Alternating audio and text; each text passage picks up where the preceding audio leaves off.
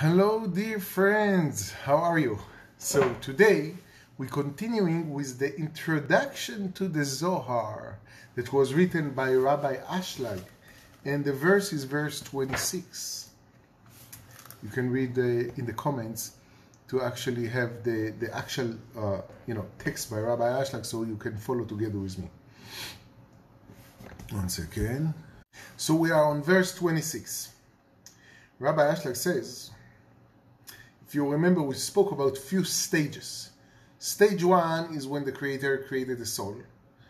And with, you know, with the soul, there were the second stage, which is 6,000 years that we're experiencing right now of spiritual work.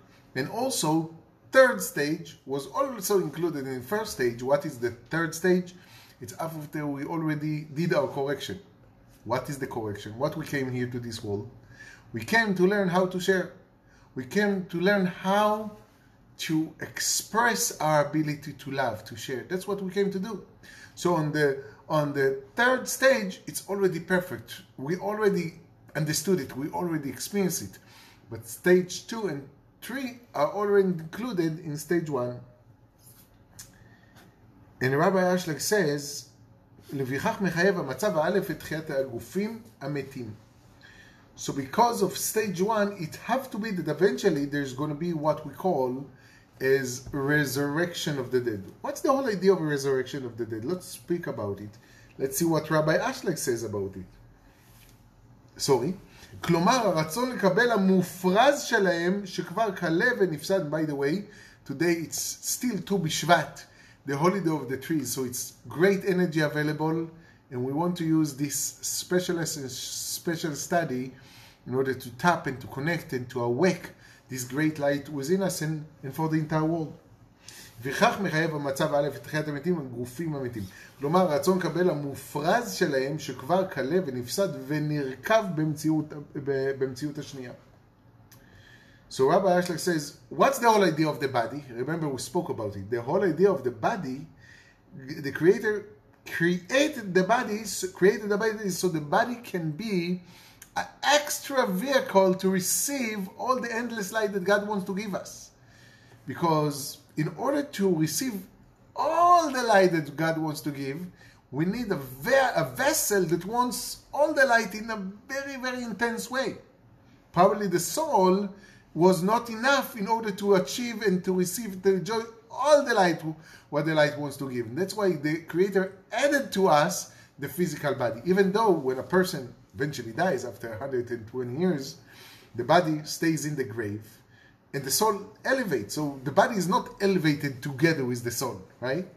But here in this world, we needed the addition of the physical body because the physical body helps us to receive and to enjoy more of what the light force wants uh, to share with us than if it would be just the soul without the physical body. כלומר, הרצון לקבל המופרז שכבר כלב וניסן נרקב במציאות הבית. מחויב לעמוד לתחייתו, but it have to be that eventually in the time of resurrection of the dead that we all hope that it's gonna happen very soon, and let's see very soon why. לעמוד תחייתו מחדש בכל גודל שיעורו המופרז בלי מיצרים כלשהם.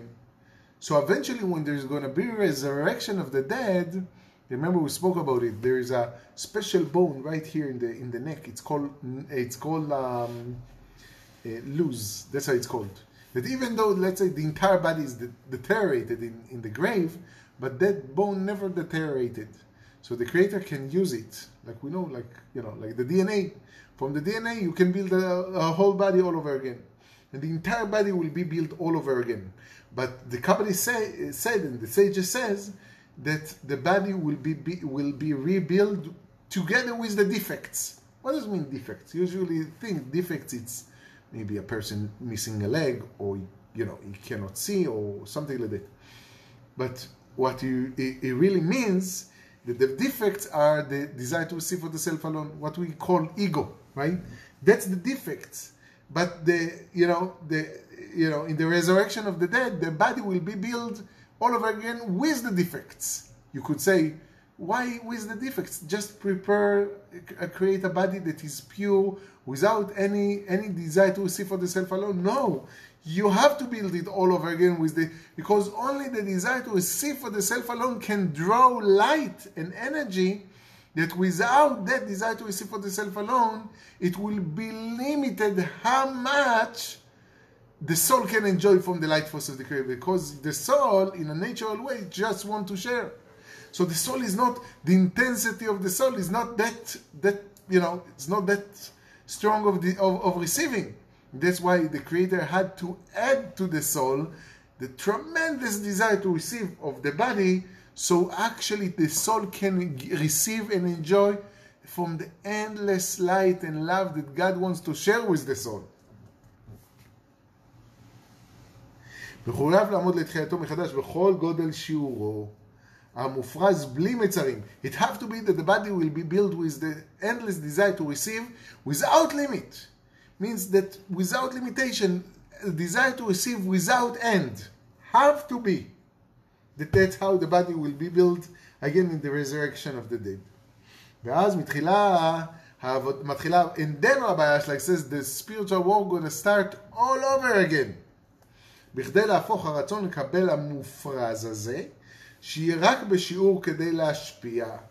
Why? What's the whole spiritual war going to start all over again in the time of resurrection? That now that the entire body is built all over again, now we can transform all the tremendous endless desire to receive of the body and actually make it about sharing. That's also what we're trying to do here in, in right now in this, you know, during 6,000 years that we experience right now but it's much harder. You can you know you can all see just look around open the internet see you know how much you know we're constantly fighting over what? Over our you know respect and pride and agenda. That's usually our you know that's that's what we're fighting about usually right? So the tremendous desire to receive for the self alone that we have right now we're working very hard to to clean it slowly and gradually, right? Slowly, slowly, as we're using the Zohar and using Kabbalah and using the system and we're using the consciousness. So we kind of teaching ourselves how to hate less and how to accept more the other person, how to see the good, how not to hate, how to actually understand that everything that happened to you, it's a message for you. The universe, the creator want to tell you to help you to see something that you need to change. Slowly, slowly learning not to judge people, not to judge yourself, to actually try to empower people, try to you know to to to give energy to strengthen people so it's a it's a it's a lot of work but in the resurrection of the dead it's going to be different resurrection of the dead it's going to be you know we will be able to correct the desire to receive for the self alone so it will be because it says that in the time of Messiah, time of redemption, the, the, the evil and, and the darkness will be removed from the world, you know. So now you can use use all the tremendous intense desire to receive purely and just for the sake of sharing. And that's the whole uh, purpose of creation. What's the whole purpose of creation? That God, all what He wants, all the desire of God, all what He wants is just one thing.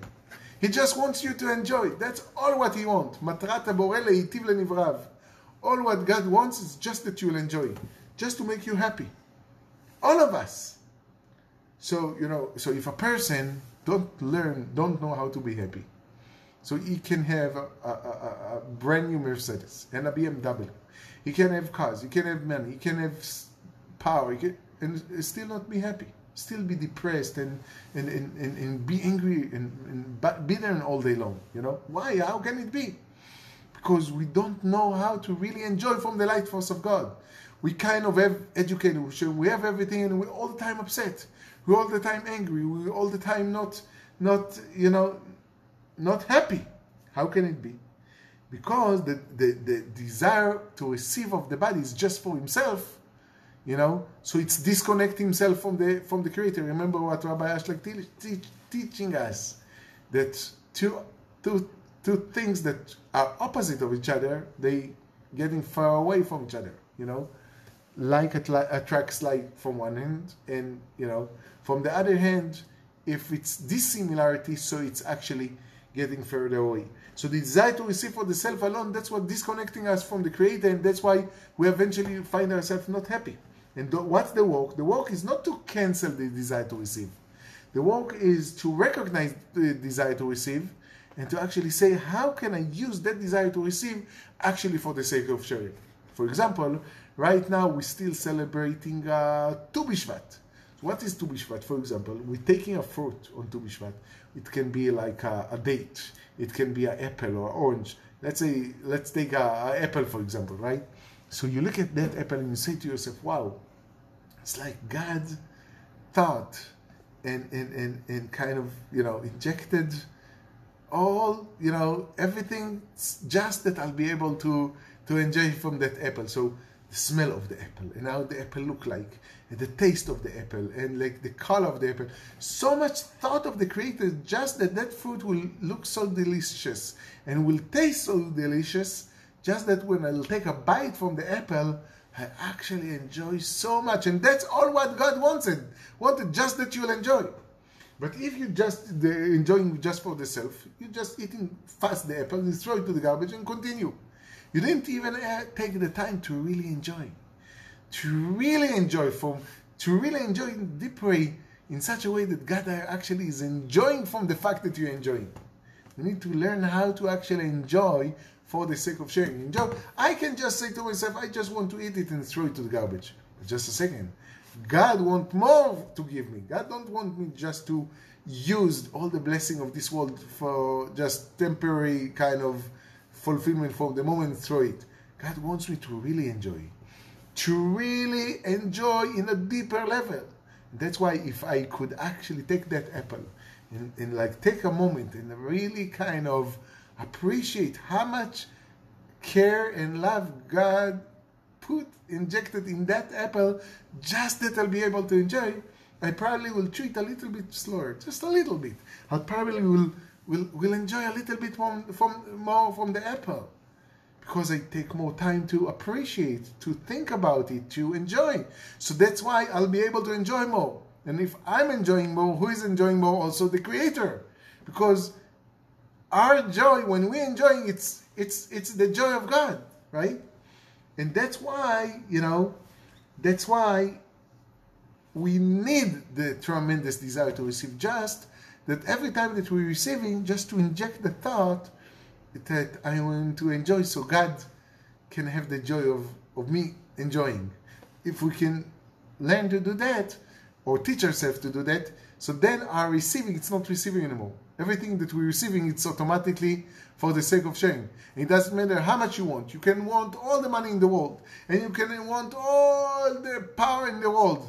But it's just because that's what God wants for me and it's kind of if that God don't want me to have all the money in the world, I'm also okay with that. If God wants me to, I'm taking an extreme example. If God wants me to sleep in the street, that's what I'll do. It's it's an extreme example, but it's kind of all what I want is just that God will be happy of giving me, you know. So if I'm enjoying something, that's that's what we just said. It's actually the joy of the Creator. But if I'm doing something and I'm not enjoying, I'm stay, you know, I'm living my life, and all day long I'm bitter about life and about the country and about the president and about my wife and about my husband and all the time complaining why the food is not uh, warm enough and why there is no salt. It's like I live in a palace. I have money, but eventually I'm why there is no salt? Why this? So you're enjoying everything that God gives you and you're not happy. Why? Because we don't take the time to understand it's not about external joy of the house, of the car. It's like to really enjoy from the fact that God loved me. That's it. Just to enjoy from the fact that I know that God loves me. That's supposed to give me all the joy in the world. That not just love me, that He loved me so much that He's just running and chasing after me so I'll so I'll be happy. Wow. You know, if if we don't learn Kabbalah, it's hard for us to catch it. It's hard for us to really feel it. It's possible, but it's much easier when you actually learn Kabbalah. And, and that's why, you know, Rabbi Ashlag says, continue to say over there in uh, verse 26, that when there's going to be a resurrection of the dead, שיש לנו מקום לקבל כל הטוב והנועם והארוך במחשבת הבריאה. מכוח שכבר יש לנו גוף המופרז מאוד בהרצון לקבל, שבו העולה בקנה אחד עם התענוגים הללו. שמתוך שקבלתנו באופן הזה לא תהיה רק בשיעור להשפיע נחת רוח ליוצרים, הרי קבלה זו כהשפעה גמורה נחשבת, בנו גם מהשוואת הצורה של הדבקות שהיא צורתנו מצבע ג'. So, so, you know, so in the resurrection of the dead, there is going to be a body. There's going to be tremendous desire to receive without end. How much a cow want to receive? A cow think uh, I want to be successful in business. A cow think I want to have to be married and to build a house. You know, they don't. The only thing that the only creature that actually think I want to like Elon, that's his name, Elon Musk, I think. You know, he's now the the richest person in the world, right? He's like planning to to have like a spaceship so people can go to visit space, right? So you know, who thinking about it? Like the bird thinking, I want to to to to to, to see the, the, the, the Earth from space. No, only we we want more and more. There's no end for how much we want, right? So it's good that we have that, because then God can give us everything, can give us endless, right? So so we need to learn to teach ourselves how to want without end. One of the most, let's say, sad sad things is that we don't want. We want in a limited way. We want just just this, this and that, you know. We need to want everything. Why? It's not comfortable to want everything. It's much easier to say, give me apartment, give me a salary, and leave me alone. Let me watch Netflix all day long. What do you want for my life, you know? But a person that really say, wow, but just a second, is that gonna give joy to God? I'm not saying don't watch Netflix. You want you like Netflix? Watch it. I'm not telling you, anyone what to do. But but just a second, a person say, God, He want maybe to give me more. Maybe right now, in what, instead of watching another episode, there's something more that God wants to give me. There's more like there's something even greater than that. So if I'm actually watching that episode instead of doing something that will actually give me something greater, I'm, I'm disappointing God.